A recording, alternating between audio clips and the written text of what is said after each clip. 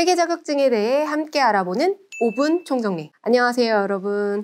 회계사 김혜원입니다. 오늘은 회계 분야의 대표 주자라고 볼 수 있는 자격증이죠. 전산세무회계 시험 일정, 접수 방법, 난이도 등 수험 정보부터 급수별 난이도 차이, 그리고 취업 정보까지 싹 정리해 보겠습니다.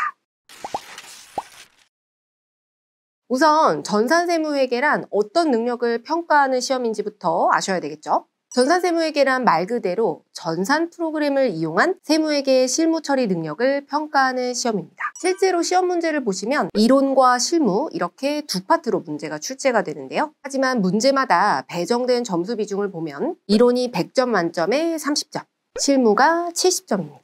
확실히 실무 역량을 평가하는 시험이라는 느낌이 오시죠? 이렇듯 전산세무회계 자격증을 취득하시면 실무에서 바로 써먹을 수 있는 전산 프로그램의 사용법은 확실하게 익혔다고 볼 수 있습니다. 그래서 다른 취업 자격증들에 비해서는 현업에서 선호되는 편이죠. 그럼 좀 더 구체적으로 어떤 분야에 취업할 때 활용할 수 있을지 알아볼까요? 음, 정말 다양하지만 그 중에서도 대표적인 곳들을 꼽으라면 중소기업의 회계팀이나 격리직, 세무법인이나 세무사 사무소를 이야기할 수 있을 것 같아요. 물론 건강보험공단과 같이 공기업에서도 채용 우대 가산점을 주는 곳이 있고 경찰 공무원 채용 과정에서도 가산점을 받아가실 수 있습니다. 다만 개인 세무사가 운영하는 세무사 사무소나 격리직 채용이라면 전산회계 1급으로도 충분히 우대받을 수 있는 곳이 있지만 그 외의 경우에는 최소한 전산세무 이상을 취득해 주는 것이 좋아요.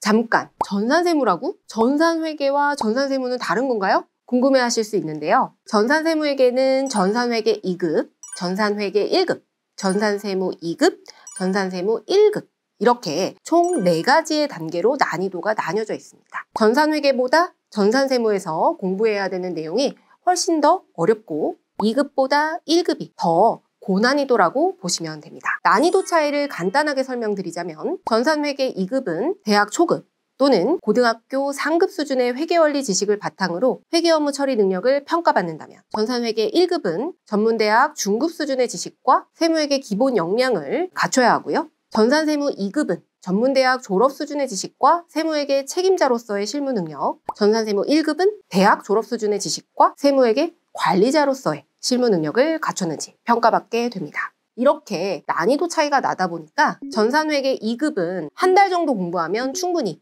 합격하실 수 있지만 전산회계 1급, 전산세무 2급 이렇게 급수가 올라갈수록 합격에 필요한 학습량도 많아지고 공부기간도 길어지는데요. 사람마다 차이가 있을 수 있지만 평균적으로 전산회계 1급은 이전공자 기준 한 달 반에서 두 달, 전산세무 2급은 두 달에서 최대 세 달 정도를 공부하셔야 합니다. 그런데 앞서서 제가 취업을 하려면 전산세무 2급까지는 취득해야 쓸모가 있다고 했잖아요. 하지만 전산 회계부터 차근차근 취득하려면 시간도 문제지만 비용 문제로 걱정하실 수 있을 것 같아요. 그런 분들께는 저희 에듀일 전산세무에게 300% 환급 패스를 추천드리고 싶은데요.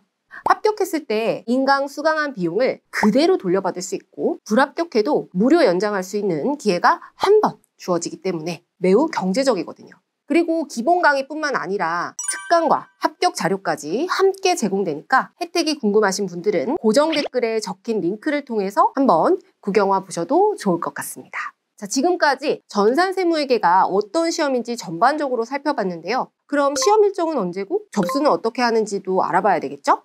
전산세무회계 시험은 보통 짝수 달의 첫째 주 또는 둘째 주에 치러지는데요. 그러니까 1년에 총 6번의 기회가 주어집니다. 시험 접수는 시험이 짝수 달에 있다 보니 약 한 달 전인 홀수 달에 진행이 되는데 한국 세무사회 자격시험 홈페이지에서 미리 공지되는 기간 동안 접수를 하실 수 있습니다. 그런데 여기서 주의하셔야 되는 점이 접수창이 열리는 시각이 밤 12시라는 거예요. 최근 몇 년간 접수 경쟁이 매우 치열해서 가까운 고사장에서 시험을 치고 싶다면 자정에 딱 맞춰서 접속을 하셔야 접수를 성공하실 수 있습니다.